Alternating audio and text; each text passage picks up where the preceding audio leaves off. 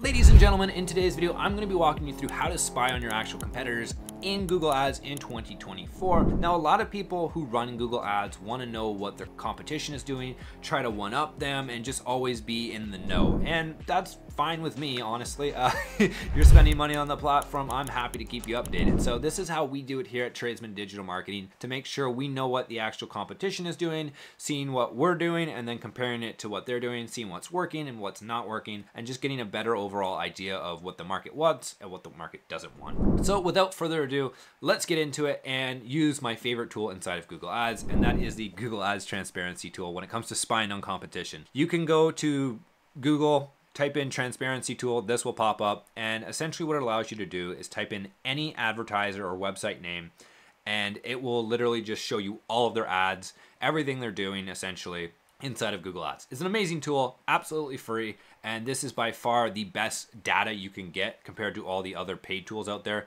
This is a direct source from Google. It's not third-party information, so this is as accurate as possible and uh, is really, really nice. So what I would recommend doing, if you don't know who your competitors are, just going into Google search and typing in what your service is. Maybe it's pool installation, maybe it's plumbing, maybe it's you know, fence installation, whatever it is. Typing, you know, fence installation, pool installation near me, you should have a few ads pop up. You can see sponsored ads here. And we have a whole bunch of pool companies pop up. Please don't click on these links as it costs the actual company money. Also, it may actually increase their click-through rate, which would actually help their quality score, which you'd probably be doing them a service at the end of the day uh, with an increasing click-through rate. Uh, but yeah, I, I just wouldn't, I wouldn't click on it. Don't be a bad person. that being said, for this one, we're going to go with Action Home Services. They're a pool installation company. And what you can see down here is the actual link in the bottom left corner of the screen. It says Bayview Landscapes, Pools. You can just type that into Google. Instead of clicking on it, type it in. That's what I did for Action Home Services here. And then their website pops up. There's no Google Click ID, meaning it didn't charge them any money. Uh, again, you know, eh, do unto others how you would be treated. You know how that goes. that being said, we're into the actual landing page here. And um, what we're going to do is copy this, come over here to the actual transparency section. And uh, as you can see, Action Home Services pops up. We're going to click on that. And then as you can see, these are all their ads. They're not running a lot of ads, um, but they are running a couple. So we can click on this. We can see the format last shown. So this is, you know, running today, as you can see. And really, they're not doing a terrible job. Uh, I would like to see probably a few more ads. I don't know why they're so limited in what they're doing, to be honest with you. Because if you have all these different services, you should have different, you know, ad groups. There should be a lot going on. One of the things I find when we're researching competitors is a lot of their ads are not good. And we've had clients in the past say like, what, what, what can we steal from them? What can we do? And we look at their ads and their ads are just terrible. It's like, just make your own ads. Like, like if you just literally came up with random ads, they would be better than this because their ads are so poor. And as you can see, Action Home Services, if you're actually typing in, I don't know, maybe they're, you know, typing in landscaping services, your ad should not read Action Home Services. It should read landscaping services or are you looking for landscaping services or, you know, 24/7 landscaping service, something that addresses the problem, not the company name it's just a waste of space. And as you can see right off the bat, eh, that's just not something we want to be doing. People don't care about your brand name. They care about what their problem, how you can solve it. So it could be looking for landscaping services, you know, two year guarantee on everything, call now for a free quote. That explains and really incentivizes the person to contact you and click on your ad. These ads, not great. Moving forward, now that we've addressed these ads, some of them are good, some of the stuff you can take and like, you know, reword and stuff like that, but a lot of them, not great. Uh, moving forward, let's go to the actual landing page here and see what we're working with. And by the way, we're essentially done with the ads. We know how to address and find the ads. Uh, so that's a big part of actually looking and spying on your competitors here. Looking at Action Home Services landing page, uh, they have a few landing pages. I'm assuming they're just running it to this. The issue with running Google Ads to your main website, and this is their main website, is there's a lot of information here. You want to actually use a landing page, something super simple. If it just said, looking for swimming pool installation and then listed a whole bunch of benefits, two year guarantee, award winning pools, 500 plus testimonials, and then it had a form and a call button, and that was it, and maybe your logo up here, this would perform substantially better than what we have now. This means absolutely nothing to 900 per to 900% to 100% of people. because people don't want to read they just want to scan and this is something that you learn when you actually build landing pages and you read a lot about it people scan they don't read uh, people are lazy. So this all of these social proof this is amazing. This should be here. This is amazing.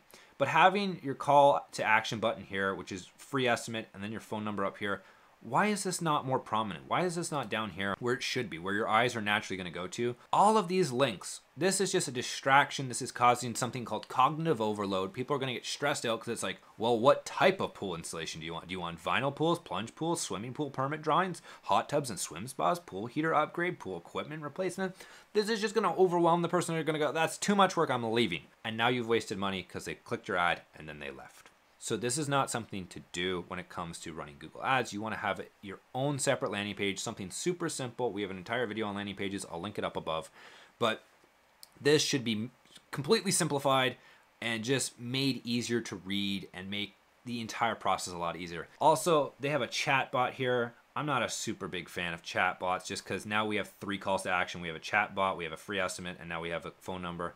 And let's see when we click the free estimate. Now it goes to a separate page, gives us a whole bunch of other options. This form should be here.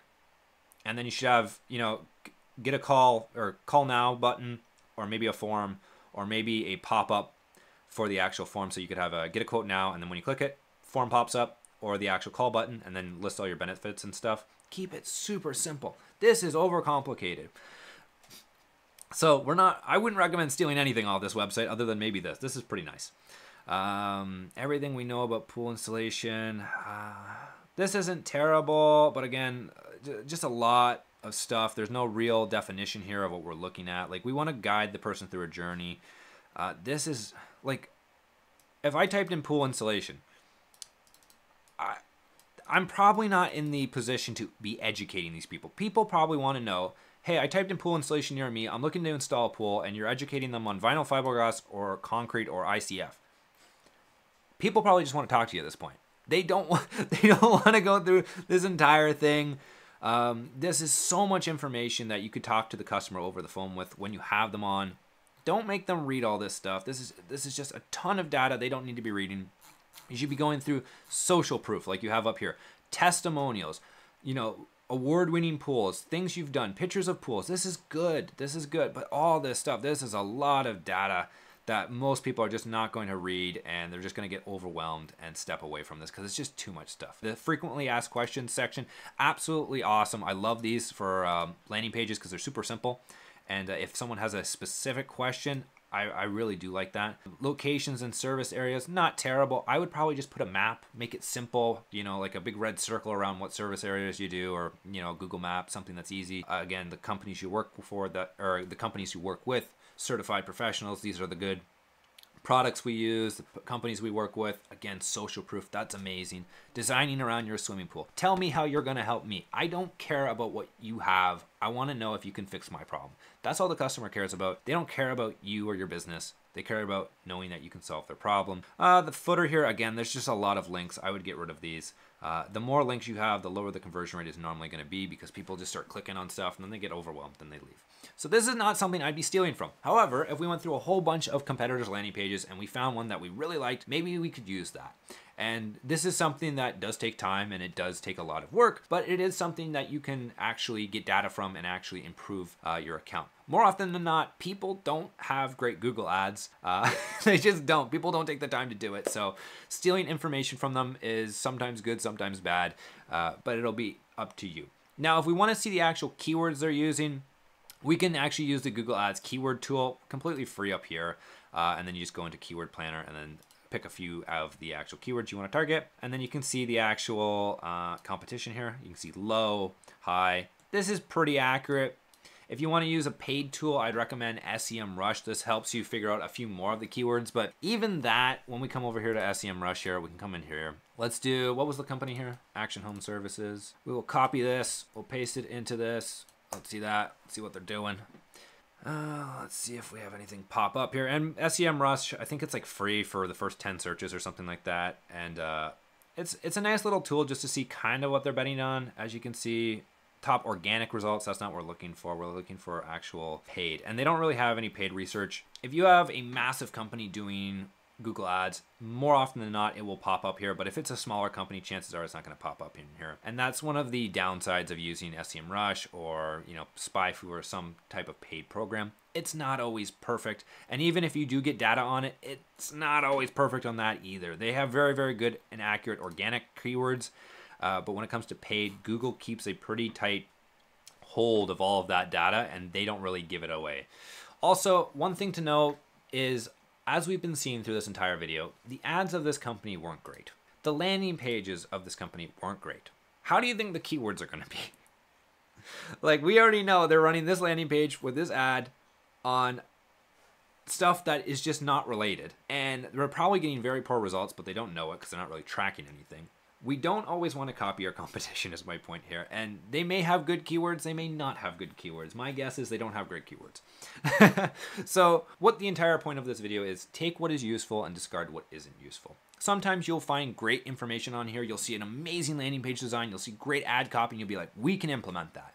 Other times you'll see it and you'll go, this is just not good and we should just ignore this. And even if your client says, listen, like this company's massive, they're doing this. And it's like, yeah, look at their landing page. It's terrible. It doesn't matter how big they are. It doesn't matter how much money they have. They're still doing it wrong. And we can get better results if we just do our own thing. So more often than not, it's better to just go with your own thing. Take what's useful, discard what isn't, as I said. Now, moving forward, we do need to optimize all of this stuff our landing pages, our ads, our keywords, and you might want to check out the Google Ads optimization checklist. It's completely free and the link for it is down below. It walks you through on what to do on a weekly, monthly, and three month basis also lets you jot down your results so you can see that you're improving month over month. Now, if you have any questions regarding spying on your competitors or finding data from other places, let me know in the comment section down below. Also, if you have any tools to spy on your competitors and get more data out of it, let me know as well. Um, I'm always, you know, interested in learning more stuff, and I only know so much. So if you have any cool tools that you think I should use, let me know in the comments down below. On that, you guys have a wonderful day. Take care, and I wish you all well.